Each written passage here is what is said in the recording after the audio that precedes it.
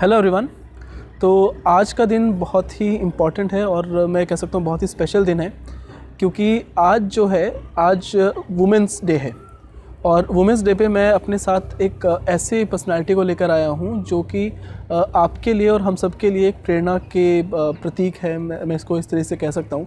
तो एक एक बहुत एक, एक कविता है कि लहरों से डर के नौका पार नहीं होती। और कोशिश करने वालों की कभी हार नहीं होती। तो मेरे साथ जो हैं प्रेरणा मैम।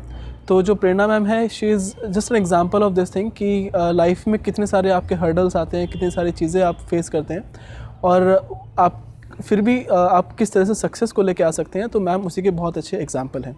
हमारे पिछले एग्जामिनेशन में पिछले एक साल के अंदर काफ़ी सारे गवर्नमेंट एग्जामिनेशन होते हैं। हर साल एग्जामिनेशन होते रहते हैं, जैसे टेक्निकल डोमेन में हमारे पास गेट एग्जामिनेशन है, उसी तरीके से U G C NET examination है, फिर आपके रेलवेज़ के एग्जामिनेशन निकलते हैं टीचिंग के एग्जामिनेशन में आपके पीजीटी के एग्जामिनेशन निकलते हैं।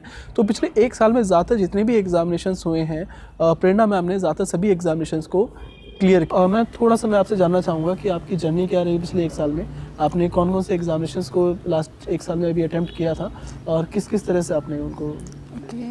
सर मैंने सबसे पहले पिछले साल में जुलाई 2018 में नेट दिया था। Okay. वो मेरा एग्ज़ाम क्लियर हो गया था फॉर असिस्टेंट प्रोफेसरशिप देन उसके बाद again I tried for J in December 2018 and seated KVS PRT and KVS PGT. Okay. I have get uh, result in KVS PGT positive, okay. KVS PRT positive, CTET also positive, but due to some mismanagement yeah, due to some burden of in my family also, I lack JRF okay. by one mark. तो just for every one मैं एक बार फिर से एक बार repeat करता हूँ। Ma'am ने पिछले एक साल में यूजीसी नेट के अंदर जो एक असिस्टेंट प्रोफेसर और जे आर एफ़ का एग्जामिनेशन होता है यूजीसी नेट में assistant professor is A P जिसको हम लोग शॉर्ट फॉर्म में एपी बोलते हैं। J R F is for PhD तो मैम uh, ने लास्ट ईयर uh, जो एग्जामिनेशन हुआ था उसमें असिस्टेंट प्रोफेसर का एग्जामिनेशन भी क्लियर किया था। यूजीसी नेट के अगेन दिस ईयर उन्होंने असिस्टेंट प्रोफेसर का एग्जामिनेशन क्लियर किया।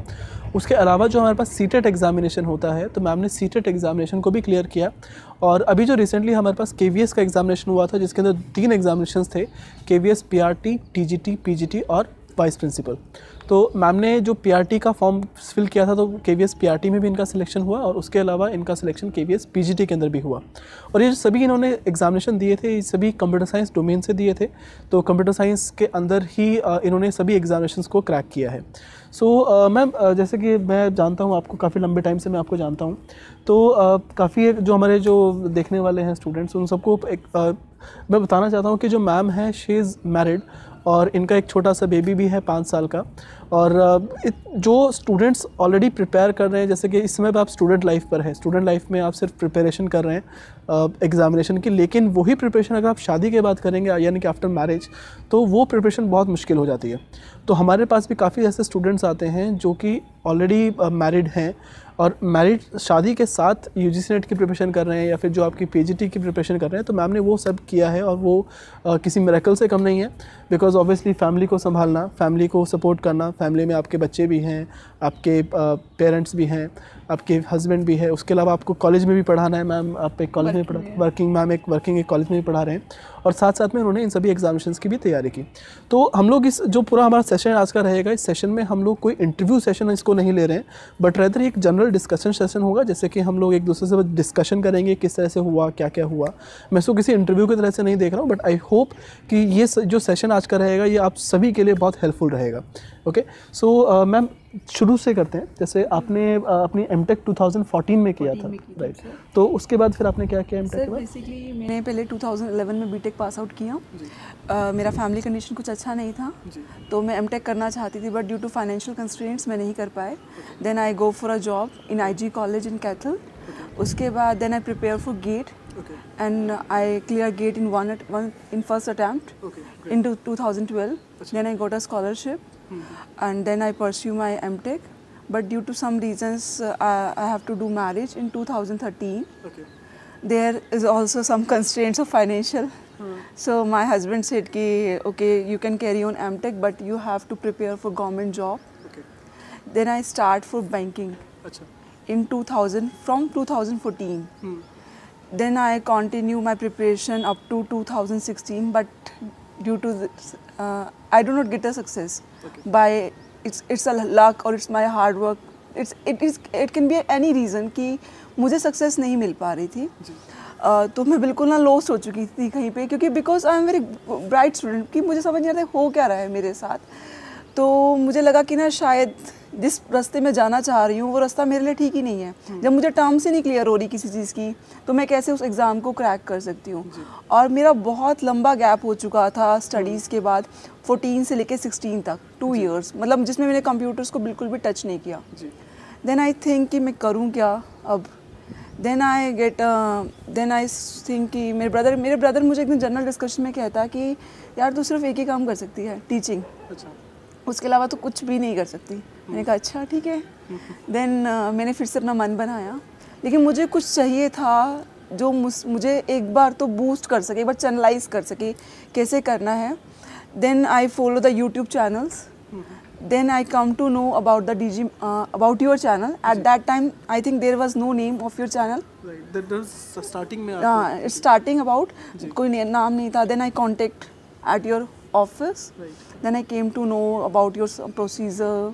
Uh, it's very good in contact with you. आपने मुझे मतलब प्रॉपर हेल्प किया हर तरीके से और आपकी जो वीडियोस थी बहुत अच्छी थी और उसके बाद आपके टेस्ट सीरीज़ आपके जो डाउटफुल डाउट सेक्शंस थे वो भी बहुत अच्छे थे।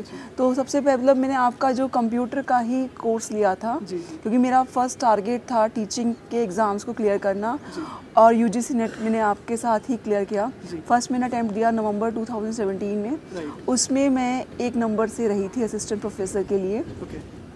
Then again with your guidance and with your support I clear in July 2018 first attempt in uh, a assistant professor, then again in your guidance, I uh, clear seated. Seated. Uh, I That's follow. Great, हाँ हाँ that उसके बाद मतलब हम मैंने K V S P G T भी crack किए जैसे मैंने पहले आपको बताया है। ये सब चीज़ें मैंने काफ़ी सारे सोर्सेज और काफ़ी सारे लिंक्स फॉलो करते हुए की हैं। जैसे मैंने आपके चैनल्स में कुछ टीचर्स को फॉलो किया। डी जी मेंटो से सर मैंने सबसे पहले कंप्यूटर सेक्शन में जी। कंप्यूटर सेक्शन के लिए आपकी वीडियोस जो भी टीचर पढ़ाता था सारी फॉलो करी हैं डे टू डे जो। उसमें टीचर्स कहते थे कि इतना टाइम देना चाहिए इतनी बार रिवाइज करना चाहिए वो सब मैंने किया। उसके बाद आपके सीडीपी वाले मैम थे। जी, जी. नाम नहीं स्वात पैडागोजी की मैम थे। उनकी मैंने वीडियोस ली हैं। नेक्स्ट एक हिंदी के सर थे अंकित सर शायद। उनका मैंने देखा था। और आपसे जैसे आपका शायद कोई जीके का उस टाइम वीडियोस नहीं बन रही थी। तो आपने मुझे उसमें भी बहुत हेल्प करी है। जैसे आपने मुझे बताया कि कौन सी मैगजीन्स आप पढ़ सकते हो कौन से न्यूज़पेपर्स आप फॉलो कर सकते हो। तो मतलब जो सब कुछ जो भी हुआ जो जर्नी चली वो सिर्फ़ और सिर्फ़ आपकी गाइडेंस के कारण चली है। Really, uh, really, you know, मतलब जो मुझे आया बेसिकली जो भी मैंने गेन किया सिर्फ़ और सिर्फ़ आपकी गाइडेंस की वजह से हुआ। उसके बाद मैं ये कह सकती हूँ कि देखो आपकी गाइडेंस तो थी ही थी। अगर मेरी फैमिली मुझे कॉपरेट ना करती तो शायद ये चीज़ें नहीं बन पाती। बिकॉज़ जैसे मैं शादी से पहले की बात करती हूँ आपसे तो 2012 में मैंने गेट किया। मम्मा थे पापा थे कोई दिक्कत नहीं थी। मतलब सब कुछ घर पे बना हुआ मिलता है हमें सब पढ़ना होता है। जब हम अनमेरिड होते हैं। लेकिन जब हमारी शादी हो जाती है तो हमारी रिस्पॉन्सिबिलिटीज़ बढ़ती रहती हैं। बच्चे होने के बाद और भी ज़्यादा बढ़ती हैं। ठीक है ना? जब मेरी बेटी अब पाँच साल की है मतलब मतलब हमें पता है कि वो हमने हमने कैसे टाइम काटा है। उन्होंने मुझे कहाँ कहाँ कोऑपरेट किया मैंने अपने बच्चे से कहाँ कहाँ कॉम्प्रोमाइज़ किया है। हर जगह पे मैंने उस, मतलब उसको थोड़ा मतलब उसको डिपेंड किया अपनी मदर पे और मेरी मदर ने पूरा मुझे सपोर्ट किया मदर इन लॉ ने कि ताकि उन्होंने मुझे हमेशा बूस्ट किया है कि तुम पढ़ो। अगर तुम इतना पढ़ी हो अगर तुमने जॉब ही नहीं करी तो फिर फ़ायदा क्या पढ़ाई का? Exactly. मतलब सिर्फ़ तुम घर के लिए घर के अगर घर पे ही रहना था तो क्या फ़ायदा? तो, क्या फ़ायदा? तो उन्होंने मुझे प्रॉपर चैनलाइज किया। मेरे हस्बैंड तो एक तरह से मेरी ढाल है। अगर वो तो मतलब ऐसे बंदे हैं अगर मैं कभी डाउन हो जाती थी ना वो मुझे कभी डाउन नहीं होने देते थे कभी भी। उनको मुझसे ज़्यादा रहता था कि कौन सा फॉर्म फॉर्म भरना है कौन सा नहीं भरना है। मैं कहती थी नहीं ये नहीं होगा। वो कभी मुझे डिनाई किया। वो मेरे लिए सबसे लड़ लेते हैं कि हाँ इसको पढ़ना है इसको कुछ बनना है। कुछ कारणों से हम थोड़े हमारी शादी जल्दी हो गई है लेकिन अब हमें कुछ करना है। क्योंकि बहुत कुछ होता है जो आपको लाइफ में करना पड़ता है। क्योंकि आपको आजकल सब कुछ फाइनेंशियली मैटर करता है। स्टेबिलिटी होनी चाहिए आपकी लाइफ में और इसके लिए गवर्नमेंट जॉब तो मस्ट है। लेकिन हम ये सोचें ना लड़कियाँ की शादी हो चुकी है अब नहीं होगा। नहीं होगा। आप अपने आप को अपना टाइम टेबल मैनेज करो आप अपने हस्बैंड के साथ कोऑपरेट करो अपनी फैमिली को सपोर्ट करो वो भी आपको सपोर्ट करेगी। अगर आप उनके अगेंस्ट होके होते हो कि नहीं नहीं ऐसा कुछ नहीं होगा आप भी पॉजिटिव रहो। वो भी आपके लिए पॉजिटिव रहेंगे। आप उनको मनाओ वो आपको मनाएँगे वो आपके साथ फुल सपोर्ट करेंगे। तो मुझे लगता है कि जो टाइम मैनेजमेंट होती है कोऑपरेशन होता है फैमिली का और जो गाइडेंस होती है वो सबसे बड़ी होती है। बिल्कुल। और आपका हार्ड वर्क तो होता ही है। बिल्कुल बिल्कुल। तो इसी नोट पे जस्ट फॉर एक पर्सनल थोड़ा सा मैं आपको मैम के बारे में बता देता हूँ कि मैम जो है हरियाणा से बिलोंग करती हैं और हरियाणा में ज़्यादातर ऐसा कहा जाता है कि वो फीमेल जो होती है हरियाणा में उनको ज़्यादा सपोर्ट नहीं किया जाता। तो एक तरह से जो इनका एक एग्ज़ाम्पल है वो एक बहुत बड़ी मिसाल भी है क्योंकि हरियाणा जैसे जैसे एक हरियाणा एक स्टेट है यहाँ पर एक तो इंटरकास्ट मैरिजेस बहुत मतलब इतना पॉपुलर नहीं है इंटरकास्ट मैरिजेस यहाँ पर जनरली नहीं होते it's very difficult to get inter intercaste marriage plus it is very difficult to get a love marriage तो मैम की जो है वो लव मैरिज हुई थी when she was your in M tech during tech time तो जब ma'am M take में थी तब उनकी लव मैरिज हुई थी and that too an intercaste marriage और ये चीज़ें एक बहुत बड़ा एग्ज़ाम्पल है क्योंकि आप इमेजिन कर सकते हो, हरियाणा जैसे स्टेट के अंदर इंटरकास्ट मैनेज करना it's a huge huge challenge because आप यहाँ पर फैमिली का आपको सपोर्ट चाहिए फैमिली के अलावा फिर आपको अपनी फैमिली का सपोर्ट चाहिए, दूसरों की उनकी फैमिली का सपोर्ट चाहिए, दोनों फैमिलीज़ का सपोर्ट होना चाहिए और फिर फैमिली का सपोर्ट होने के बाद भी अगर आप शादी के बाद इस तरह की अचीवमेंट्स आप लेते हैं, शादी के बाद आप इतने सारे एग्जामिनेशन को क्रैक कर पाते हैं, क्योंकि लोगों की एक्सपेक्टेशंस बहुत बढ़ जाती है। जब आपकी शादी होती है, उसके बाद लोगों की एक्सपेक्टेशंस बहुत होती है। और शादी के बाद अगर आप इस तरह के एग्जामिनेशन को क्रैक करते हैं, जैसे कि मैम ने भी पी जी एग्जामिनेशन का क्रैक किया, अभी मैम का सेंट्रल इंडिया में यानी कि मध्य प्रदेश में इनकी पोस्टिंग आई है मैम की। उसके अलावा सभी यू जी एग्ज़ाम्स को क्रैक किया which is you know very commendable ऐसा होना और ऐसा करना एक बहुत ही डिफ़िकल्ट यू नो टास्क है। और ज़्यादातर बच्चों को देखा जाता है कि इट्स इट्स मतलब इतना इजी नहीं है ये सब चीज़ें है ना? तो मैम अभी आपने जैसे यू नेट का आपने एग्ज़ाम दिया था तो सबसे पहले हम पिछले एग्जामिनेशन से आते हैं। आपने लास्ट अभी जो एग्जामिनेशन हुआ था दिसंबर में आपने वो एग्जामिनेशन दिया था। Yes, और उससे पहले फिर आपने लास्ट ईयर जुलाई का एग्जामिनेशन दिया था। तो आपने पहले जुलाई वाला एग्ज़ाम क्लियर किया था? हाँ तो वो सबसे पहला एग्ज़ाम था जो आपका क्रैक हुआ राइट सर तो जो क्रैक हुआ वो जुलाई वाला जुलाई वाला सबसे पहला था। उससे पहले आपको कोई भी एग्ज़ाम क्लियर नहीं, नहीं हुआ था, था तो उससे पहले आपने बैंकिंग के एग्जामिनेशन आपने दिए थे राइट और बैंकिंग के अलावा आपने यूजीसी नेट भी पहले भी ट्राई किया आपने? सर उससे पहले मैंने एक बार किया था जब मैं एम कर रही थी। जी। तब। अच्छा तो मतलब आप पिछले पाँच सालों से ऑलरेडी प्रिपरेशन कर रहे थे तो उस समय प्रिपरेशन आपने बैंकिंग के एग्जामिनेशन की प्रिपेयर हाँ, कर रही है? मेरा ट्रैक डिफरेंट था थोड़ा सा। हाँ, मेरा टीचिंग हाँ, का ट्रैक आ गया हाँ, था मुझे समझ में आ चुका था कि मैं टीचिंग ही कर पाऊँ राइट तो जब आपने जैसे लास्ट ईयर जुलाई का एग्ज़ाम क्लियर किया था तो उसमें आपने कितने महीनों की प्रिपरेशन आपको लगी थी? क्योंकि काफ़ी बच्चे देखते हैं वो एक साल दो साल तीन साल चार साल रिपीट ही करते रहते हैं। तो अगर मैं सिर्फ़ आपसे ये पूछना चाहता पूछूँ कि आपने जो लास्ट ईयर जुलाई का एग्ज़ाम क्लियर किया था तो जनरली कितने महीनों की तैयारी की ज़रूरत है यूसेंट के एग्ज़ाम क्लियर करने के लिए? और किस तरीके से बच्चों को पढ़ना चाहिए? जी। सर बेसिकली मैंने जब आपका चैनल सब्सक्राइब किया था और आपसे जैसे आपके स्टडी पैकेजेस लिए थे it is around August 2017 then I prepare for four months and I give the exam of December 2017 then I lose by one mark, mark से क्लियर नहीं in assist, for assistant professorship. then I prepare once again after some time. In again. took a break मतलब हाँ, उसके बाद आपने break लिया break because या because I think I hope मैं कि हो जाएगा हो लेकिन नहीं हो पाया मेरा किसी कारण से। और उसके बाद सर मैंने शुरू किया in mid of January mid of January once again sir उसके बाद मेरे मेरे पास रिस्पॉन्सिबिलिटी बहुत ज़्यादा थी उस टाइम मेरा इतना बैड लक था कि ठीक है और उनकी अप्रैल में डेथ भी हो गई पिछले साल अप्रैल 2018 में। तो सर आप समझ सकते हो कि दो तीन महीने मेरे फिर से रून हो चुके थे प्रॉपर क्योंकि मुझे मम्मी को भी संभालना था फैमिली भी संभालनी थी हर चीज़ थी। उसके बाद सर मैंने अगेन फिर से तैयारी शुरू करी मई में।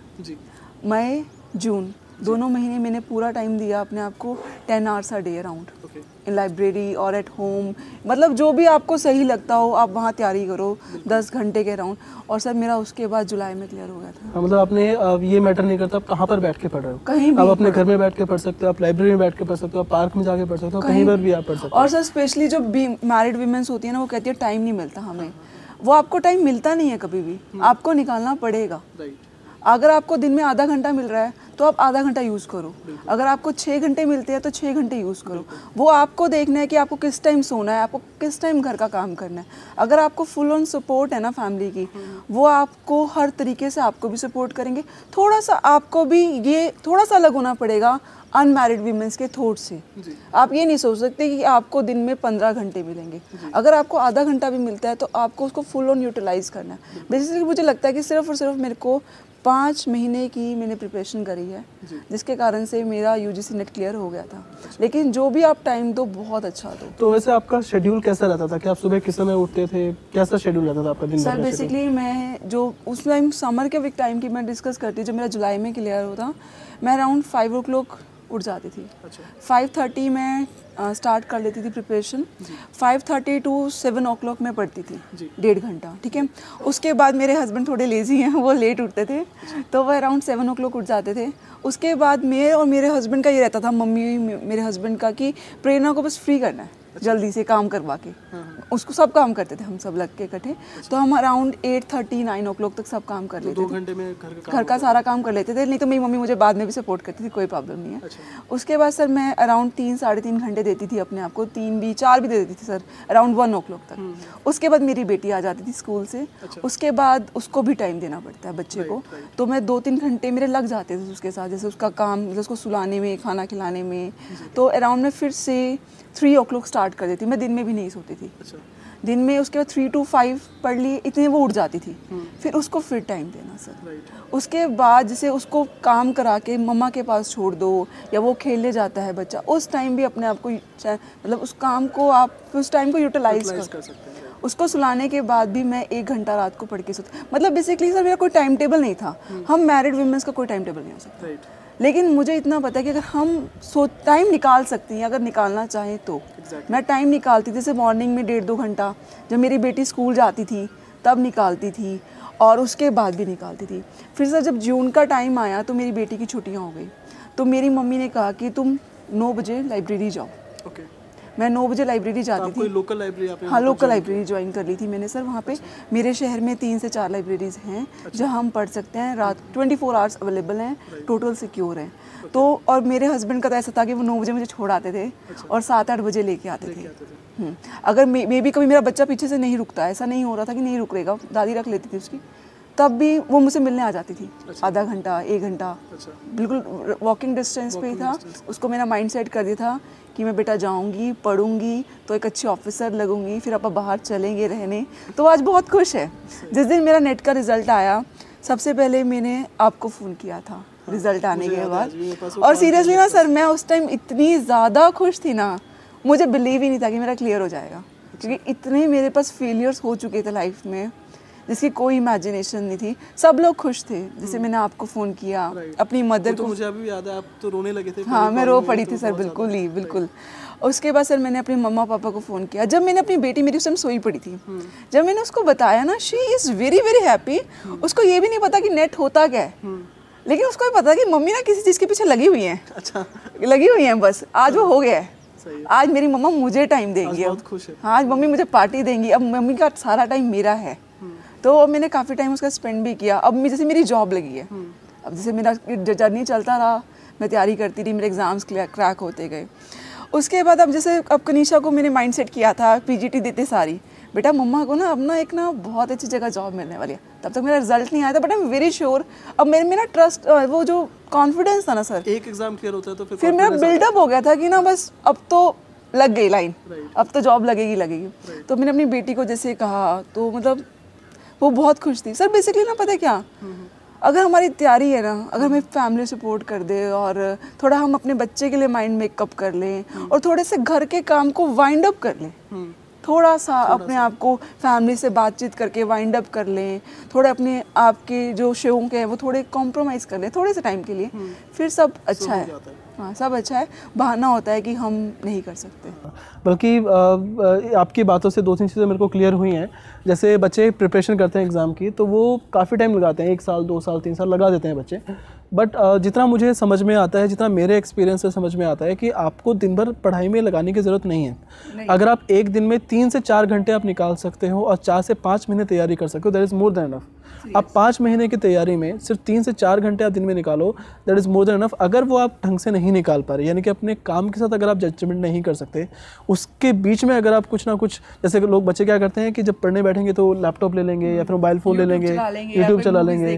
हाँ तो वो बेसिकली क्या करते हैं कि यूट्यूब पर वीडियो देखते हैं लेकिन कोई सजेशन पर कोई वीडियो आ रहा होता है मूवी का सॉन्ग का तो वो उसको चला लेते हैं। तो जब आप अपने काम के साथ ही अगर आप सीरियस नहीं होंगे उसके लिए आप जेनुअनली आप काम टाइम डिवोट नहीं करेंगे तो ऑब्वियसली आपके वो जो पाँच महीने हैं वो बढ़ के एक साल या दो साल भी हो जाएगा। तो ये कोई बड़ी बात नहीं है। अगर आप फोकस्ड तरीके से तैयारी कर रहे हैं तो आपको ज़्यादा टाइम देने की ज़रूरत नहीं है। आप सिर्फ़ चार से पाँच महीने के अंदर ही कोई भी एग्ज़ाम क्रैक कर सकते हो। चाहे वो गेट हो यू जी नेट हो या फिर आपका इंजीनियरिंग सर्विसेज़ एग्जामिनेशन आप किसी भी टॉपर का इंटरव्यू देख लीजिए। मैं काफ़ी टॉपर्स के साथ रह चुका हूँ काफ़ी टॉपर के साथ काम किया है। मेरे क्लासरूम प्रोग्राम में हम लोगों ने काफ़ी टॉपर से हमने बात की है। बट मैंने किसी टॉपर को ये नहीं सुना कहते हैं कि सर मैंने दो साल तीन साल या चार साल लगाए। सर कोई भी एग्ज़ाम हो सिर्फ़ और सिर्फ़ आपको अपनी स्ट्रेटेजीज बनानी पड़ती है। हाँ. आपको गाइडेंस करने वाले हम सब जैसे आपका चैनल है आप कंप्यूटर्स के लिए वो फॉलो करो। एक सही चैनल होना चाहिए आपका सही टाइम टेबल होना चाहिए और आप डिटरमाइंड होने चाहिए करने के लिए। ये नहीं कि आप पढ़ रहे हो और हाँ। सोच कहीं हो रहे हो नहीं। फिर तो आपको दो साल भी लग सकते हैं और सारी लाइफ तीन साल भी लग सकते हैं कुछ भी हो सकता है वो एग्जैक्टली तो किसी भी टॉपर से किसी भी पर्सन से आज तक मैं जिनसे भी मिला हूँ तो सभी का यही कहना है कि आपको बहुत ज़्यादा टाइम लगाने की ज़रूरत नहीं है। सिर्फ़ पाँच महीने की तैयारी करो तीन से चार घंटे डेली डेडिकेटेड डिवोट करो ऐसा नहीं होना चाहिए कि आज आप दस घंटे पढ़ लिए और अगले दिन आप बिल्कुल भी नहीं पढ़ाई की। तो वो चीज़ नहीं चलेगा। आपको कंसिस्टेंसी मेंटेन करनी बहुत ज़रूरी है। अगर आपको डेली चार घंटे पढ़ना है तो वो पढ़ना ही है। उसको कैसे भी मैनेज करो लेकिन ऐसा नहीं होना चाहिए कि आज आपने दस घंटे पढ़ लिया फिर अगले दो दिन आप बोलते हो कि दो दिन छुट्टी कर लेता हूँ यार पिछले दो दिन पहले मैंने बहुत ज़्यादा पढ़ लिया था तो उससे आपकी कंसिस्टेंसी टूट जाती है। तो डेली चार घंटे का मतलब है डेली चार घंटे। आपको वो देने ही देने हैं। अपनी स्टडीज़ के साथ आपको जजमेंट करना ही करना है। उसके साथ आपको किसी भी तरह की कोताही नहीं बरतनी है किसी भी तरीके से राइट तो वो आपका पहला एग्जामिनेशन था जो आपने यूथ सेंटर क्लियर किया। फिर उसके बाद आपने सी भी क्लियर किया। तो सी का एग्ज़ाम कब था आपका? सर सी मेरा आई थिंक दिस हुआ दिसंबर में था मुझे अच्छा. डेट नहीं याद कौन सी ओके तो वो दिसंबर में ही आपका जो लास्ट 8 9 था लास्ट दिसंबर 2008 मतलब आपका जो शायद यूजीसी नेट का एग्ज़ाम और सीसेट का एग्ज़ाम लगभग साथ साथ ही था। सिर्फ़ सिर्फ़ 10 डेज़ का फ़र्क सिर्फ़ 10 डेज़ का डिफरेंस था। शायद यूजीसी नेट का 17 दिसंबर को था आई थिंक सर मेरा 18 को 18 दिसंबर को यूजीसी नेट का एग्ज़ाम था और 7th को आपका सीसेट का एग्जामिनेशन था। दोनों का सिलेबस लगभग सेम ही रहता है। नहीं सर अच्छा। ये तो सर बहुत ना डिफरेंट रहता है क्योंकि यू नेट में तो कंप्यूटर्स आता है और पेपर वन में भी कुछ और ही आता है जो सीटेट में नहीं आता। सीटेट में सर जैसे चाइल्ड डेवलपमेंट आता है हमारे पास। दो सब्जेक्ट्स लैंग्वेजेस के आते हैं आप कोई भी चूज़ करो। मैंने इंग्लिश किया था लैंग्वेज वन में और हिंदी किया था लैंग्वेज टू में। उसके बाद सर एक जर्नल पेपर आता है उसमें आपके पास साइंस आती है आपके पास मैथ्स आता है। और कुछ मतलब रैंडम क्वेश्चंस आते हैं उसमें कुछ भी आ सकता है आपके पास। वो सब आपको करना पड़ेगा साइंस मैथ्स वगैरह सबका मिक्स आता है। ई e आता है सर आपके पास पीआरटी में एनवायरमेंटल तो बल्कि ऐसा भी होता है इस बार जो दिसंबर का एग्जामिनेशन हुआ है यूजीसी नेट का उसमें सिलेबस भी चेंज हुआ था। दिसंबर तो में? दिसंबर में आपका जो लेटेस्ट अभी ऐसा होता है कि देखो आपका जो यूजीसी नेट का जो सिलेबस था जो कि बिकॉज़ पहले यूजीसी नेट यूजीसी ऑर्गेनाइज करता था that is University Grant Commission तो दिसंबर में ऐसा हुआ कि एन यानी कि नेशनल टेस्टिंग एजेंसी एक नई कमेटी बनी जो कि यूजीसी नेट का एग्ज़ाम कंडक्ट करेगी। तो अब से जो एग्जामिनेशन है वो यूजीसी नेट के नाम से नहीं जाना जाता। अब वो एग्जामिनेशन होता है एन नेट तो जब एंटी नेट इस पिक्चर में आया तो उन्होंने सिलेबस के अंदर जो पेपर का जो पैटर्न था उसको थोड़ा सा इम्प्रूव किया। क्योंकि पहले ऐसा होता कि काफ़ी ऐसे पोर्शन हैं जहाँ से सिलेबस में मेंशन थे लेकिन क्वेश्चन नहीं नहीं आते थे सर बिल्कुल। जैसे मोबाइल कंप्यूटिंग एक क्वेश्चन है मोबाइल हम्म। कंप्यूटिंग से कभी क्वेश्चन नहीं आते थे। आपके हडूप से कभी क्वेश्चन नहीं आते थे। डेटा से कभी बिग डेटा से कभी क्वेश्चन नहीं आए तो ऐसे बहुत सारे ऐसे पोर्शन है जहाँ से कभी क्वेश्चन आए ही नहीं। मतलब काफ़ी लंबे टाइम से क्वेश्चन नहीं आ रहे थे लेकिन जब जैसे कमेटी चेंज हुआ जब एनटीए हुआ तो एनटीए ने एक स्ट्रक्चर्ड फॉर्मेट में सिलेबस को चेंज कर दिया हम्म। अब एनटीए ने दस यूनिट्स को बनाया है हम्म। और हर एक यूनिट से आपके दस नंबर का पेपर आएगा तो आपके दस यूनिट्स है आपको एटलीस्ट क्लियर करने के लिए आठ से नौ यूनिट तो आपको करनी ही करनी है हम्म। चाहे दस के दस यूनिट आप शायद ना करो मुश्किल हो सकता है ऑब्वियसली लेकिन आठ से नौ यूनिट तो आपको एटलीस्ट करनी ही करनी है क्योंकि आपकी जो कट ऑफ़ है वो लगभग सिक्सटी परसेंट मार्क्स के आसपास आपकी रहती है तो सिलेबस चेंज का पैटर्न थोड़ा सा और रिफाइंड हो चुका है थोड़ा सा बेटर पैटर्न हो चुका है इस समय पर। और आई थिंक अब एग्ज़ाम क्लियर करना पहले से थोड़ा सा इजी हो चुका है क्योंकि आपका सिलेबस बेटर तरीके से डिफाइंड है। बिल्कुल सिलेबस बिल्कुल बेटर प्रॉपर स्ट्रक्चर्ड है। स्ट्रक्चर्ड है पहले सिलेबस स्ट्रक्चर नहीं था पहले तो ये था कि सर जैसे कि ना किसी भी पार्ट में से कुछ भी आ जाता हाँ, था कोई श्योर नहीं था कि क्या पता इस बार कोई एक सब्जेक्ट आ गया हाँ, अगली बार दूसरा पूछ लिया फिर हाँ, अगली बार उससे अलग पूछ लिया। हाँ, तो इसलिए हमें ना सारा सिलेबस पता right. नहीं होता था क्या करना है और क्या नहीं। लेकिन इस बार जैसे आप बता रहे हैं कि टेन चैप्टर्स हाँ, हाँ। में डिवाइड तो हो चुका है। यूनिट्स में डिवाइड हो चुका है सिलेबस और हर एक यूनिट में से फिक्स है कि दस नंबर का आपको पेपर आएगा जाएगा। तो अब तो बिल्कुल फिक्स्ड है कि आप किस तरीके से तैयारी करेंगे किस तरीके से आप वो चीज़ें बहुत ईजी हो चुका है। पहले इतना ईजी नहीं था एग्जामिनेशन को क्रैक करना राइट तो उसके बाद फिर आपने यूजीसी जब आपने क्रैक किया उसके बाद अच्छा जो काफ़ी बच्चों के क्वेश्चन रहते हैं कि सर सर्टिफिकेट कैसे मिलेगा? तो आपने इस असिस्टेंट प्रोफेसर का आपने लिया था आपको सर्टिफिकेट के बारे में पहले थोड़ा सा इश्यूज़ आपको आए थे। सर हाँ तो किस तरीके से सर्टिफिकेट आप अगर बच्चों को थोड़ा सा हेल्प मिल जाएगा उससे? सर बेसिकली ना जब हमें कोई जब हम एप्लीकेशन फॉर्म भरते हैं ना तो मैं थोड़ी शायद लापरवाह थी। तो मुझे ये नहीं पता था कि जैसे हम कभी भी किस मान लो आपकी दो तीन ईमेल आईडीज़ हैं right. आपने कोई एक भर दी उस टाइम पे ठीक है कोई और आपके पास दो नंबर्स हैं आपने वो भर दिए और उस टाइम आप जब आपका सर्टिफिकेट लेने का टाइम आया तो आप भूल गए हाँ। कि कौन सा था या पासवर्ड भूल गए ठीक है right. तो मुझे भी बहुत ज़्यादा प्रॉब्लम आई इस चीज़ में दिसंबर में जैसे हमारा पेपर सॉरी जुलाई में मेरा पेपर क्लियर हुआ आई थिंक नवंबर में सर्टिफिकेट आ चुका था और मुझे नहीं मिल पाया क्योंकि मेरे को मैं ना मुझे पता ही नहीं था कैसे करना है। और मेरा बार बार दिखा रहे थे कि user name incorrect password incorrect then मुझे मैंने धीरज सर से गाइडेंस ली। तो धीरज सर ने मुझे समझाया कि कैसे कैसे करना है। और उस टाइम मुझे पता लगा कि जो मेरी ईमेल आईडी जो मैं दे रही थी करंटली यूज़ करी थी वो, वो ही गलत थी। अच्छा। उस टाइम मैंने कुछ और फिल किया था और वो वहीं से ही होगा। Okay. तो फिर मैंने अपनी तीसरी ईमेल मतलब दूसरी ट्राई करी फिर तीसरी ट्राई करी तो जाके मुझे पता लगा। मतलब जो भी आप जब एप्लीकेशन फॉर्म भरते हो तो उसको ढंग से भरो मतलब अपनी ईमेल आईडी ध्यान से जो आप करंटली यूज़ कर रहे हो वही। और अपना फ़ोन नंबर भी वही दो जो आप यूज़ करते हो यानी कि रैंडम चेंज करते रहेंगे तो फिर आपको दिक्कत आएगी दिक्कत प्रॉब्लम आएगी राइट फिर उसके बाद आपने पीआरटी का एग्जामिनेशन दिया था ना? पीआरटी और आपका पीजीटी का एग्जामिनेशन था। तो इनमें सिलेबस में कितना डिफरेंस रहता है? जैसे कि ऑब्वियसली मैंने पढ़ा है तो मुझे PRT and PGT are very very different right बहुत ज़्यादा डिफरेंस है। सर पीजीटी में तो आपका सब्जेक्ट आता है मैक्सिमम पीआरटी में आपका सब्जेक्ट नहीं आता। पीआरटी में डिफरेंट डिफरेंट आपके सेक्शंस चेक होते हैं। तो उसके लिए आपको अलग अलग पढ़ना पड़ता है। क्योंकि जो उनका कट ऑफ़ जाता है वो बहुत हाई जाएगा। अगर आप सोचोगे कि सिर्फ़ आप एक सेक्शन तैयार कर लो तो काम नहीं बनेगा। पीजीटी में आपके पास आपका सब्जेक्ट आएगा वो ज़्यादा सेक्शन नंबर का आता है जिसे अराउंड सिक्सटी मार्क्स का आता है। उसके बाद मतलब बहुत डिफरेंस हम ये नहीं कह सकते कि सिमिलैरिटी है। तो आपको उसी हिसाब से पढ़ना पड़ेगा और हर सब्जेक्ट पे आपको फोकस करना पड़ेगा। Right okay okay. तो आपने यूजीसी नेट की तैयारी की थी लेकिन आपने शायद पीजीटी की डेडिकेटली तैयारी नहीं की थी राइट तो बिकॉज़ पीजीटी का थोड़ा सा सिलेबस थोड़ा सा चेंज होता है वहाँ पर आपका कुछ सब्जेक्ट भी आते हैं फोटोशॉप आता है फोटोशॉप आता है सर वीबी डॉट नेट आता है आपके पास आता है एएसपी डॉट नेट आपके पास आता है वेब डेवलपमेंट के जावा स्क्रिप्ट है वीबी स्क्रिप्ट है तो ये सब चीज़ें आती हैं। मल्टीमीडिया भी आता तो आपने स्पेसिफिकली उसकी तैयारी की थी या फिर सिर्फ़ आपने जो यूजीसी की तैयारी की थी उसी से आपका नहीं सर बेसिकली कुछ पेपर जो मैंने जब मैंने पीजीटी का सिलेबस देखा था तो उसमें सिक्सटी परसेंट तो यूजीसी नेट वाला ही आता है मतलब सेवेंटी परसेंट आपके स्पेसिफिक सब्जेक्ट की बात कर रही हूँ मैं आपसे। और जो फोर्टी परसेंट सिलेबस होता है जैसे आपने मुझे बताया बता रहे हो भी अब कि फोटोशॉप आता है मल्टीमीडिया आता है वीबी आता है एक दो सब्जेक्ट्स और भी आते हैं जो आप यू जी सी नेट में नहीं पढ़ते तो आपको वो पढ़ के जाने पड़ेंगे। क्योंकि जब आप पेपर दोगे ना तो उसमें एक एक नंबर बहुत ज़्यादा मैटर करता है बहुत ज़्यादा। तो मतलब आप कुछ भी टॉपिक छोड़ नहीं सकते। आप ये नहीं कह सकते कि ये टॉपिक एक नंबर का ही तो है। नहीं वो एक नंबर आपको नॉर्थ से कहीं और पहुँचा देगा आपके प्रेफरेबल जोन से। तो आपको मतलब एक एक नंबर के लिए हम फाइट करना है तो आपको एक एक टॉपिक पढ़ना ही पड़ेगा हर चीज़ का। तो मैंने जैसे इसके लिए आपकी वीडियोज़ आई थी वो फॉलो की थी सर अभी जस्ट फॉर सभी बच्चों को मैं बताता हूँ कि पीजीटी का जो एग्जामिनेशन होता है that is a post graduate teacher और जो पीआरटी एग्जामिनेशन होता है वो फिफ्थ क्लास से नीचे वाले बच्चों के लिए होता है। और एक टीजीटी एग्जामिनेशन होता है जो सिक्स क्लास से लेकर टेंथ क्लास वाले स्कूल स्टूडेंट्स के लिए सिक्स से एट तक के हाँ के स्टूडेंट्स के लिए होता है। अब जो पीजीटी एग्जामिनेशन है थ्रू आउट द कंट्री लाखों बच्चे उस एग्जामिनेशन को अटैम्प्ट करते हैं।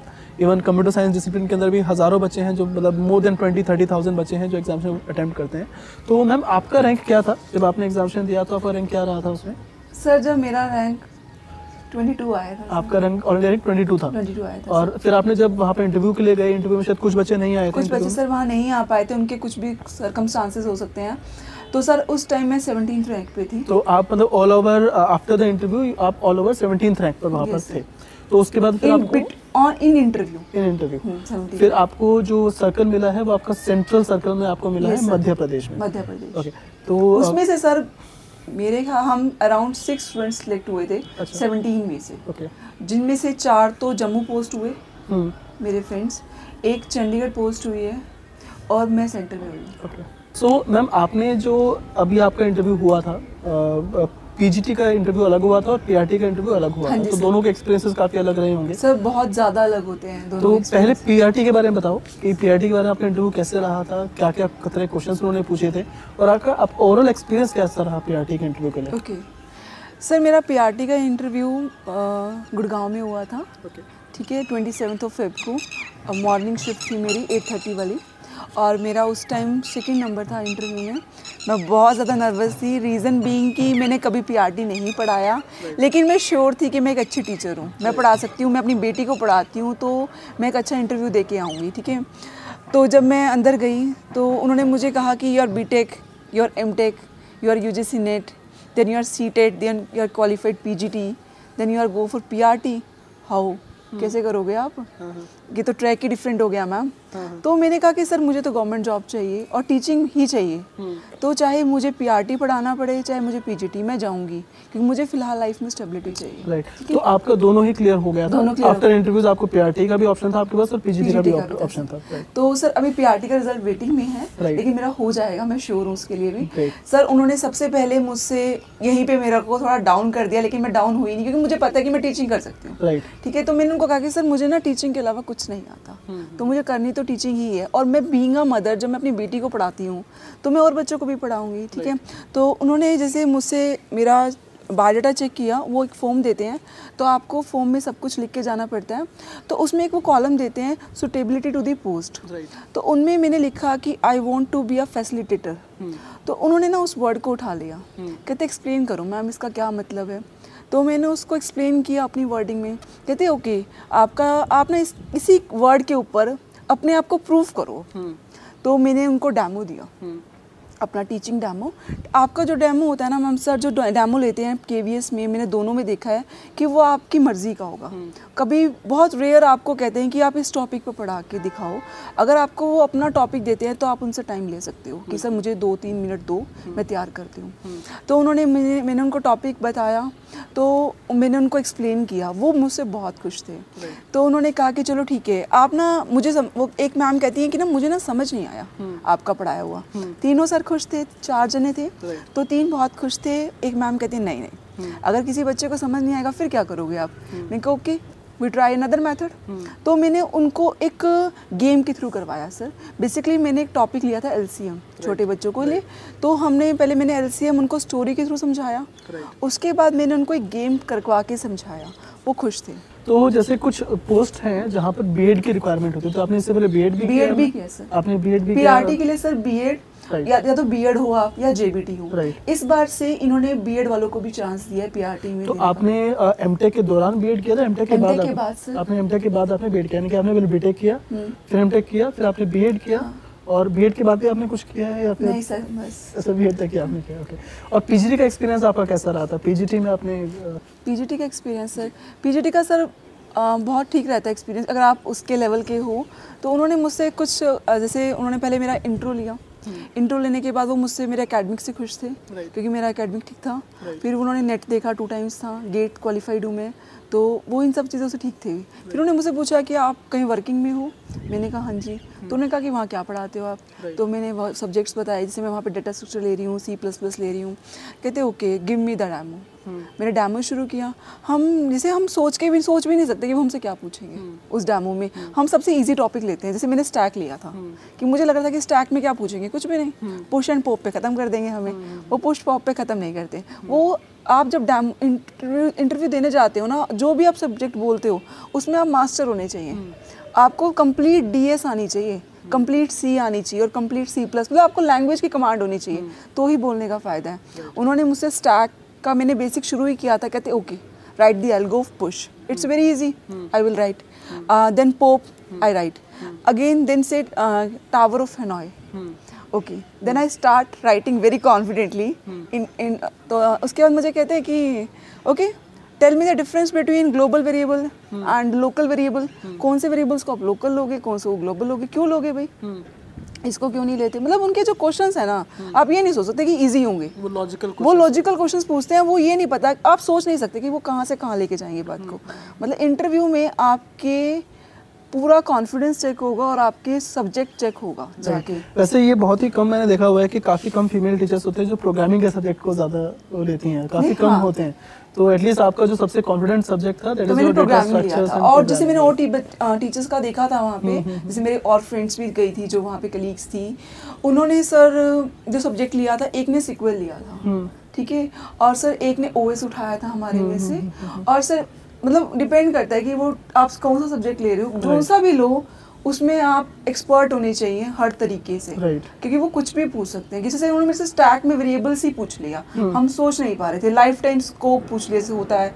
मतलब वो कुछ भी पूछेंगे आपको बस तैयार करके जाना है। तो इस बार आपने जैसे लास्ट ईयर इस बार जो हमारा गेट का एग्ज़ाम था आपने गेट का एग्जामिनेशन इस बार दिया था? सर मैं नहीं दे पाई वो आपने एग्ज़ाम नहीं दिया बट मोस्ट ऑफली आपका गेट का एग्ज़ाम लगभग क्लियर क्लियर आराम से हो जाता हाँ, हो जाता है, बिकॉज़ एक लेवल की स्टडी के बाद मुझे ऐसा लगता है कि आप जितने भी एग्जामिनेशन है वो सभी आप क्लियर कर सकते हैं। अभी एक हमारे पास रेलवेज का एग्जामिनेशन आने वाला है। R R B Railway Recruitment Board के लिए हमारे पास जूनियर इंजीनियर का एक एग्जामिनेशन आने वाला है। उसका लास्ट मंथ उसकी थर्टी फ़र्स्ट उसकी एक लास्ट डेट थी फॉर्म की। Okay. तो जो बच्चे हैं वो जो जितने भी टेक्निकल एग्जामिनेशन की आप तैयारी कर रहे हैं देखो प्रॉब्लम क्या आती है बच्चों के साथ कि ये मेरे साथ भी ऐसा हुआ है कि when I am preparing for one examination जैसे मैंने गेट के लिए मैंने एग्जामिनेशन दिया तो मैं throughout in the country आपके हर महीने कोई ना कोई एग्ज़ाम चलता रहता है मैंने किसी भी एग्जामिनेशन को नहीं दिया। तो ऐसा होता है। बच्चे क्या करते हैं कि अगर मैंने गेट की तैयारी की तो मैं सिर्फ़ गेट का ही एग्ज़ाम दूँगा चाहे कोई और एग्ज़ाम हो जाए मैं उसको दूँगा ही नहीं। ठीक है? तो मुझे ऐसा लगता है कि आप जिस एग्जामिनेशन की तैयारी कर रहे हो उस पर ही फोकस करो लेकिन जो दूसरे एग्जामिनेशन यानी दूसरी जो अपॉर्चुनिटीज़ आपके पास आ रही है उनको छोड़ना नहीं चाहिए बिल्कुल भी। जैसे अभी रेलवेज़ की जो हमारे पास रेलवे रिक्रूटमेंट बोर्ड के अंदर जूनियर इंजीनियर की वैकेंसी है उसी तरीके से आपके पास बैंकिंग में स्पेशलिस्ट ऑफिसर की निकलती है उसी तरीके से आपके पास टीचिंग वैकेंसी हर एक स्टेट के अंदर निकलती है। जैसे कि पीजीटी एग्जामिनेशन मैम ने आपने के वी आपने एग्जामिनेशन दिया है केंद्रीय विद्यालय जो एक सेंटर का एग्जामिनेशन है। उसके अलावा फिर आपके स्टेट के एग्जामिनेशन सर इस मेरा एक एस्टेट पीजीटी भी क्लियर हुआ था जो मैंने आपको बताना मैं भूल गई। एक और एग्जामिनेशन जो है एग्ज़ाम इतने क्लियर कर लिए कि उनको बताना ही भूल 2017 का और सर मेरा इस बार का भी क्लियर हो जाएगा क्योंकि मेरी बायोमेट्रिक वेरिफिकेशन हो चुकी है। वेरी गुड तो 2000 मैंने 19 में दिया था मैं भूल गई सर बताना। तो आप अगर एक बार तैयारी करेंगे तो आपके सभी एग्ज़ाम्स क्लियर हो जाएँगे। जैसे कि आपका हरियाणा में स्टेट होता है सी टेट होता है उसी तरह दिल्ली के अंदर डी ट्रिपल एस भी हो गया यूपी के अंदर UP L T grade teacher हो गया। फिर आपके अंदर आंध्र- प्रदेश के अंदर ए पी टेट हो गया ए पी सेट हो गया। उसी तरीके से आपके पास हर एक स्टेट के अंदर दो तरह के एग्जामिनेशन होते हैं। एक होगा सेंटर का एग्जामिनेशन जो सेंट्रल गवर्नमेंट लेगी। दूसरा होगा स्टेट का एग्जामिनेशन जो कि स्टेट गवर्नमेंट लेगी। तो आपको चाहे आप किसी एग्जामिनेशन की प्रिपरेशन कर रहे हो क्योंकि सबसे ज़्यादा इंपॉर्टेंट प्रिपरेशन है यूजीसी नेट की। उसमें सब क्लियर कवर हो जाता है। उसमें आपका गेट भी कवर हो जाता है. यूजीसी नेट में आपका पीजीटी एग्जामिनेशन भी कवर हो जाते हैं चाहे वो स्टेट के हो सेंटर के हो। वो सभी एग्जामिनेशन आपके कवर हो जाते हैं। ज़्यादातर सभी एग्जामिनेशन आप उसको क्लियर कर पाते हो। तो मेरे कहने का मतलब है कि आप जब एक एग्ज़ाम की तैयारी करें तो फोकस उसी पे रखो। लेकिन जो आपके पास रास्ते में दूसरी अपॉर्चुनिटीज़ आती रहे उसको छोड़ना नहीं चाहिए क्योंकि आपको नहीं पता कि कौन सा एग्ज़ाम आपको किस समय पर क्रैक कर जाएगा और कौन सा एग्ज़ाम आपका क्लियर हो जाएगा। तो मैम ने पिछले एक साल में जितने भी एग्जामिनेशन दिए हैं सभी एग्ज़ाम को क्लियर किया है क्योंकि एक लेवल ऑफ़ प्रिपरेशन के आने के बाद आप किसी भी एग्ज़ाम में बैठोगे तो हर जगह पर जो पैटर्न है एग्ज़ाम का जो लेवल है एग्जामिनेशन का लगभग सिमिलर ही रहता है। तो जो बच्चे एक एग्ज़ाम को क्रैक करते हैं लगभग सभी एग्जामिनेशन को वही बच्चे क्लियर कर रहे होते हैं आराम से। तो आ, आ, आने वाले काफ़ी टाइम के अंदर भी हम हम सीइंग क्योंकि काफ़ी बच्चे ऐसे भी हैं जो ऑलरेडी आई आई टी से वो एम कर चुके हैं बट फिर भी वो एग्ज़ाम देते रहते हैं बिकॉज़ वो अपनी प्रिपरेशन को चेक करते रहते हैं। तो आने वाले टाइम में ऐसा भी होगा कि आप भी काफ़ी एग्जामिनेशन को आप ऑलरेडी देते रहोगे जो कि फ्यूचर के लिए भी काफ़ी अच्छा रहता है राइट सो मैम जो अभी बच्चे जो प्रिपरेशन करना स्टार्ट कर रहे हैं दो तरह के बच्चे हमारे पास होते हैं। एक वो जो कि प्रिपरेशन कर कर रहे हैं पिछले काफ़ी टाइम से। एक वो जो स्टार्ट कर रहे हैं। तो दोनों की प्रिपरेशन स्ट्रैटेजी बहुत अलग रहेगी। अब कोई ऐसा स्टूडेंट है जैसे कि जो पिछले एक साल से या डेढ़ साल से तैयारी कर रहा है कि उसका एग्ज़ाम क्रैक नहीं हुआ। तो उसके लिए आप क्या सजेशन देना चाहोगे? सर उसके लिए जैसे मैं अपने पर्सनल एक्सपीरियंस से बताऊँगी जैसे मेरा दिसंबर में रह गया था एक नंबर से तो इसमें मैंने सिर्फ़ दो महीनों में उसमें सिर्फ़ क्या किया हर सब्जेक्ट को ढंग से पढ़ा। ठीक है? क्योंकि आपको आता है।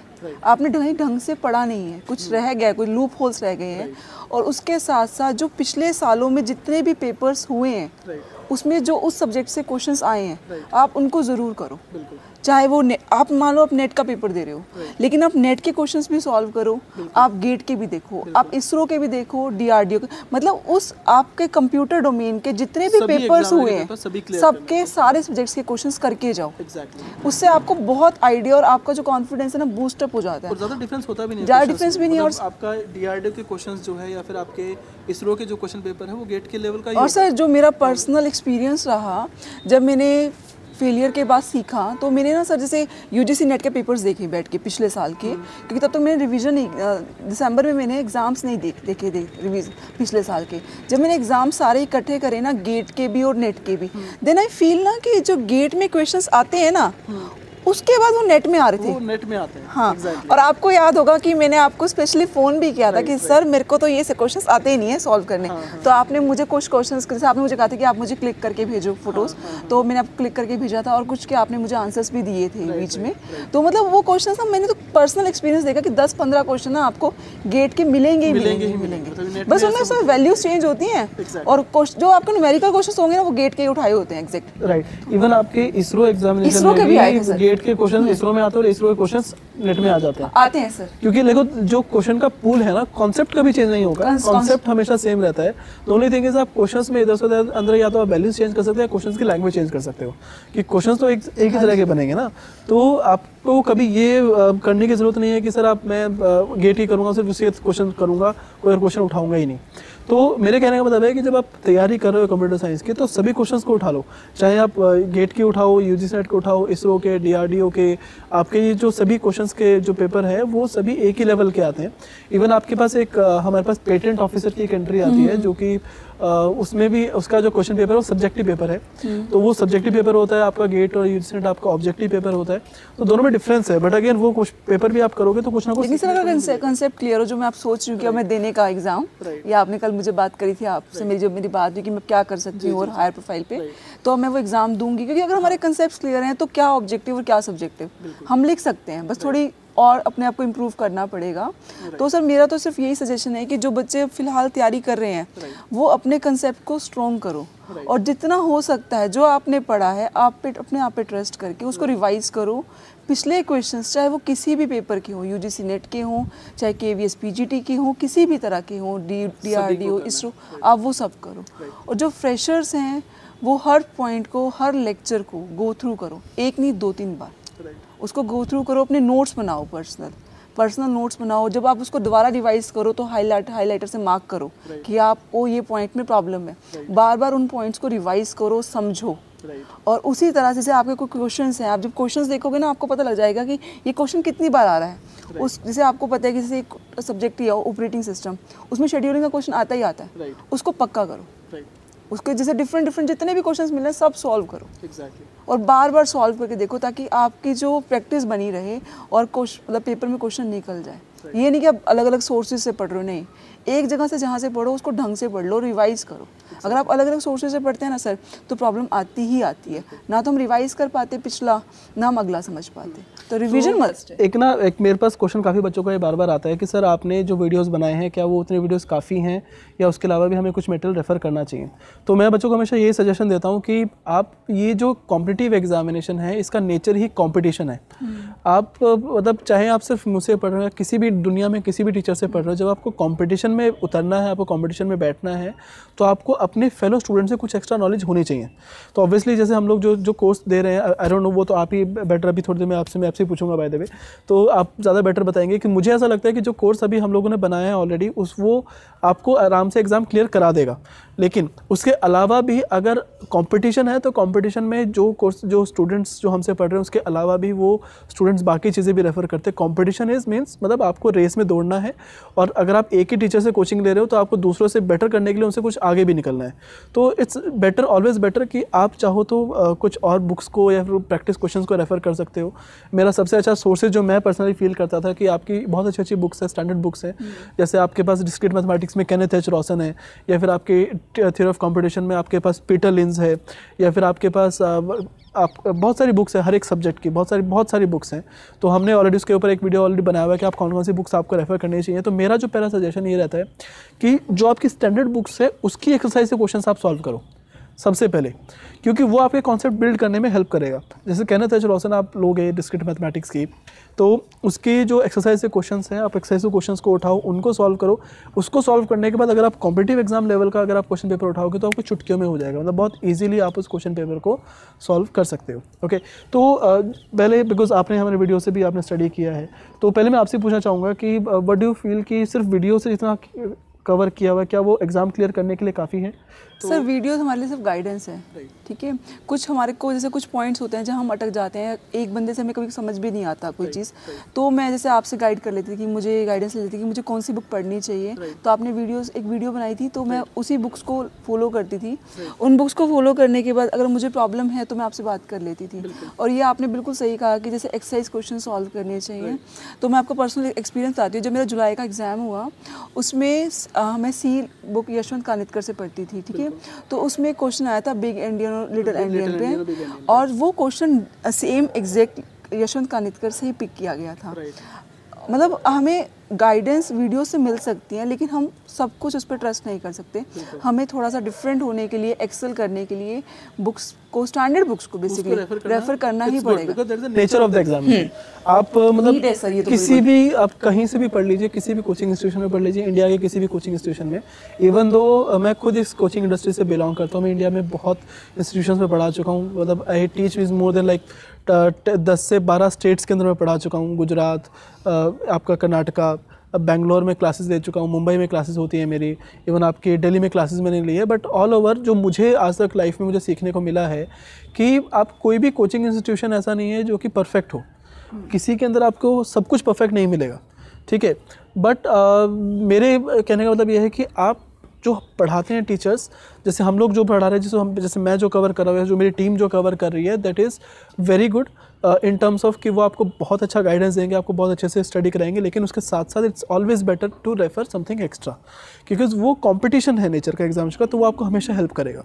बाकी अदरवाइज़ जो आप, हम लोग कवर कर रहे हैं, वो भी अगर आप कवर करोगे, अच्छे से कवर करोगे तो तब भी आपका एग्ज़ाम इजीली क्लियर हो जाएगा आपका राइट तो अच्छा तो मैम जस्ट बिफोर कि अभी तो हमारा थोड़ा सा काफ़ी लेंदी इंटरव्यू भी हो जाएगा but again before you go अभी बिकॉज़ आज वुमेंस डे है तो और इंडिया में इस इस समय पर इसकी बहुत ज़रूरत है कि हमारे जो वीमेंस हैं, जो हमारी लड़कियाँ हैं गर्ल्स हैं, वो आगे आएँ, और उनको आप कोई मैसेज देना चाहोगे कि किस तरीके से आपको तैयारी करनी चाहिए, या फिर कुछ ऐसे मैसेज जो उनको मोटिवेट करें कि आप आगे बढ़ के, आपको बढ़ चढ़ के आगे आना चाहिए, क्योंकि आज का दिन बहुत स्पेशल है।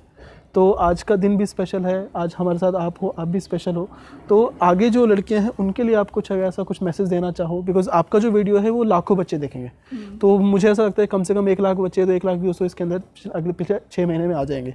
तो लाखों बच्चे आपका वीडियो देखने वाले हैं। तो कुछ ऐसा मैसेज जो आप हर एक बच्चे को देना चाहो जो उनको भी हेल्प करे और फ्यूचर में सबके लिए बहुत अच्छा सर मैं पर्सनल एक्सपीरियंस से कहूँ तो मुझे ऐसा लगता है कि हमें सब अपने में विश्वास करना चाहिए। हमें ये नहीं सोचना चाहिए कि हम फीमेल हैं। हम कर सकते हैं। ठीक है? क्योंकि अगर बस आपको फैमिली का सपोर्ट चाहिए होता है और आप अपने लिए करो अपनी फैमिली के लिए करो मेरे जो पर्सनल बैकग्राउंड मतलब पर्सनल था किसी अब मैं आपने मुझे बताया कि मेरा इंटरकास्ट मैरिज था right. सब मुझसे इतने अगेंस्ट थे कि आप सोच भी नहीं सकते right. लेकिन मैंने अब अपने आप को प्रूव कर दिया है कि मैं और मेरा पार्टनर जो मेरी चॉइस थी वो बिल्कुल परफेक्ट थी right. तो मैंने उन्होंने मुझे फुल फुल सपोर्ट किया है हमेशा जैसे आप मतलब अपने आप में विश्वास रखो और जो आप चाहते हो फिर वो आप कर सकते हो exactly. और अपनी फैमिली को प्राउड फील कर सकते हो प्राउड दे सकती हो कि हाँ कि आपके मम्मी पापा को भी अच्छा लगेगा कि कि वो आप उनकी बेटी हो। Right right. अब जैसे मेरी मम्मी पापा आज कहते हैं कि ना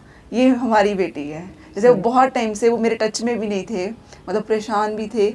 अब वो कहते हैं कि हाँ अब जो प्रेरणा ने किया था ठीक किया था। Right. अपने ऊपर विश्वास रखो अपने आप को किसी से कम मत समझो। आप कर अच्छा। सकते हो। बहुत अच्छा। है so so, uh, I hope अगर आपको इसके बाद भी अगर कोई क्वेश्चन आ सके बिकॉज़ मुझे लगता है कि मैंने जब तक हर चीज़ में लगभग कवर कर दी है कि किस तरह से तैयारी करना चाहिए, किस तरह से आपको परेशानियाँ लाइफ के अंदर आती है, किस तरह से अपने आपको मोटिवेट रखना चाहिए। वैसे बाय द वे ऐसा कई बार होता है कि बच्चे जो है, ये कुछ मैं से पूछना, पूछा नहीं बट काफ़ी बच्चे ऐसा होता है कि वो स्टडीज़ के पीछे मोटिवेशन खो देते हैं। मतलब आप कुछ पढ़ रहे हो कुछ एग्ज़ाम दे रहे हो आपको सक्सेस नहीं मिली तो अब बहुत जल्दी बच्चे मोटिवेशन को खो देते हैं कि मतलब दो महीने चार महीने छः महीने में उनको ऐसा होता है कि जब प्रिपरेशन स्टार्ट किया तो बहुत एक्साइटेड है ओवर एक्साइटेड फुली एक्साइटेड आप दिन में दस घंटे पढ़ाई कर रहे हो। लेकिन अचानक एक दो एग्ज़ाम दिया आपको लगता है यार ये मुझसे नहीं होने वाला मैं छोड़ देता हूँ। तो उस फ़ेज़ में आप क्या करते हो? जब आप डीमोटिवेट होते हो तो आप क्या करते हो उस समय पर? उस टाइम मैं अपने हस्बैंड से बात करती थी। अच्छा। वही मेरे मोटिवेटर थे कि जिन्होंने मुझे कहा कि तू कर। तू कर सकती है। तो मैं, तब मैं उनसे बात करती थी और वो मुझे बिल्कुल मोटिवेट कर देते थे। मैंने आपको जैसे पहले ही कहा है। और मैं उस टाइम को याद करती हूँ कि मैंने वो तैयारी शुरू क्यों की थी? वो तैयारी मैंने इसलिए शुरू की थी ताकि मैं अपने मम्मी पापा को, वो एक्चुअली थोड़े रूरल हैं ऑर्थोडॉक्स थे, वो अपने ही एरिया में डोमेन में कंजर्व रहते थे कि हाँ हमसे कुछ, मेरी बेटी से कुछ गलत हो गया। क्योंकि मेरे को लगता है कि अगर आज मैं कहीं सेट हो जाऊँ तो मेरे मम्मी पापा मुझ पर प्राउड महसूस करेंगे Right. कि हाँ मैं उनकी बेटी हूँ वो उस चीज़ से ओवरकम हो सकेंगे। और मुझे अब लगता है कि हाँ मैंने उनको ज़्यादा खुशी तो नहीं दी वो खुशी मैंने दे दी है कि वो अब उससे ऊपर हो सकते हैं। तो मैं उस चीज़ को याद करती थी। तो मुझे तो ऐसा लगता है इस वीडियो के बाद वो और भी प्राउड फील करेंगे। हाँ, वो मुझसे बहुत प्यार करते थे। आपकी जो बातें हैं ऑब्वियसली उनको भी मोटिवेट करेगी कि हमें अपनी फैमिली को सपोर्ट करना चाहिए है ना? और फैमिली जो है बहुत इंपॉर्टेंट होती है। तो मुझे ऐसा लगता है कि अगर आपका वी- वीडियो वो लोग देखेंगे तो आप पे बहुत प्राउड रहेंगे वो लोग भी। और आपने कुछ अचीव किया तो ऑब्वियसली हम सभी उस चीज़ के लिए बहुत खुश हैं सब। बेसिकली ना अब वो इस चीज़ से खुश हैं कि मेरी बेटी मतलब ठीक है मैं उनका पहले कभी प्राउड थी आज भी मैं उनका प्राउड हूँ। वो थोड़े से दिक परेशान हो गए थी वो थोड़े उनका डोमेन बहुत रिज़र्व था और मैंने सोचा नहीं। लेकिन अब वो खुश हैं कि मेरी बेटी सेट है जो हम सोचा करते थे अपनी बेटी से। वो उसने अचीव कर लिया और मैं उन उससे भी ज़्यादा करूँगी ताकि मेरे पेरेंट्स मुझ पर और भी ज़्यादा प्राउड करें और मेरे भाई बहन बहुत खुश रहें बिल्कुल। इस चीज़ के लिए। हम सबकी विशेष आपके साथ हैं। और जो आज का जो टाइम है दिस इज़ वेरी मुझे लगता है कि बहुत अच्छा आज हमने ये जो सेशन है बहुत अच्छा सेशन किया है। और I hope every one of you feel motivated after this इस वीडियो के बाद आप सबको बहुत अच्छा लगेगा। और अगर आपको कुछ भी क्वेश्चन है, अगर आप मैम से कुछ भी क्वेश्चन पूछना चाहते हैं तो इस वीडियो के नीचे आप कमेंट सेक्शन में पूछ सकते हैं। और मैं होप विश करूँगा कि मैम बहुत जल्दी हमारे साथ एक और एक और वीडियो बनाएँ। आप सभी क्वेश्चन अपने जो आप पूछना चाहते हैं, सभी अपने कमेंट बॉक्स पर लिख सकते हो। और मैं बहुत जल्दी ऐसी कोशिश करूँगा कि आपके सभी के क्वेश्चन मैं इकट्ठे करके मैं मैम को दोबारा से फिर से मैं बुलाऊँगा और फिर से दोबारा से आप सभी के क्वेश्चन को लूँगा। तो मुझे ऐसा लग रहा है कि मैम इसमें पर काफ़ी इमोशनल ऑलरेडी हो चुके हैं। और दिस इज़ मैं भी कुछ इसमें कमेंट नहीं कर पा रहा हूँ मैं खुद भी कुछ नहीं कह कह, कह पा रहा हूँ। तो ma'am any last words for the viewers sir मैं तो बस यही कहती हूँ कि अपने आप में विश्वास रखो कभी लॉस ना हो करो कभी भी कोई कुछ भी कहे अपने टारगेट ओरिएंटेड रहो। आप तब ये सोचो कि आपने चीज़ शुरू क्यों की थी? किस लिए की थी? अपनी फैमिली के लिए खुद के लिए। जिसके लिए आपने शुरू की थी ना उसी चीज़ को याद रखो। जैसे मैंने अपने पेरेंट्स के लिए की अपने हस्बैंड के लिए की। मैं my husband is my motivator लेकिन मैंने किया क्यों ये काम? मैं आज भी अपने मम्मी पापा को कहती हूँ सिर्फ़ आपके लिए। ये आज जो जॉब करूँ करने में जाऊँगी मध्य प्रदेश में सिर्फ़ आपके लिए। नहीं तो मैं अपनी फैमिली से एक दिन के लिए भी दूर नहीं रह सकती। ताकि मेरे मम्मी पापा मुझ पर प्राउड करें। बस आप वो टाइम याद रखो कि आपने शुरू क्यों क्यों अपने में विश्वास रखो सही तरीके से गाइडेंस लो और सही टाइम को चैनलाइज करो। स्पेशली फॉर मैरिड वीमेंस अगर टाइम को चैनलाइज करना सीख लिया सब हो जाएगा। गाइडेंस आपकी जैसे किसी भी चैनल की हो वो आपकी मर्ज़ी है। मुझे यहाँ से गाइडेंस मिली है प्रॉपर मिली है और मैं तो बहुत थैंकफुल हूँ सर आपकी सच में। और उसके बाद सर मैंने कुछ बुक्स फॉलो करी जो आपने मुझे कही दस टेन ट्वेंटी परसेंट उनका रोल है और रिवीजन पेपर्स का बहुत ज़्यादा रोल होता है। बहुत बहुत ज़्यादा रोल होता है। प्रैक्टिस क्वेश्चन का बस वो करते जाओ और विश्वास रखते जाओ अपने में। सब कुछ मिल जाएगा। चलो। Thank you I think this is very good so thank you so much ma'am for being with us Thank you, sir. And we all love you so much and we Thank you. Wish you success in life thank you sir and I love you too also sir ठीक है sir okay thank you ma'am thank you हाँ done लगभग हमारा 50 minutes का हुआ है